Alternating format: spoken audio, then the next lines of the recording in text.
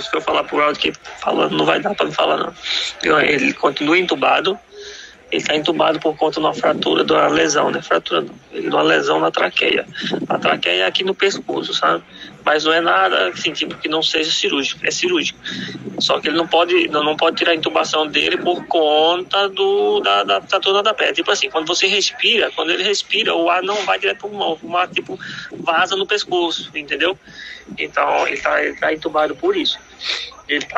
É, como a Meta falou, ele não está com perigo iminente de, de morte, ele está bem, assim, pulmonar, ele está bem, está respirando tranquilamente, não teve febre, está respirando tranquilamente, certo?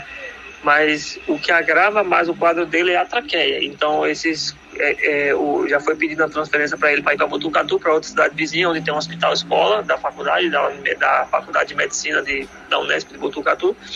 E provavelmente ele vai ser transferido para lá e onde lá vai ser passado para uma cirurgia na traqueia. Né? Provavelmente uma, ou, ou cirurgia na traqueia, ou eles vão passar mais 10 dias entubado ele, para que o corpo mesmo regenere, entendeu? A traqueia. Mas ele, ela falou que vai demorar um pouco o tratamento dele, não é questão de um, dois, três, uma semana, vai demorar.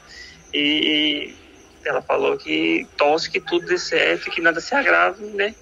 Por ele ser jovem e tal, mas é complicado, velho. Rapaz, tava lá agora com ele aqui, eu vou contar pra você. Que eu já chorei, não é brincadeira.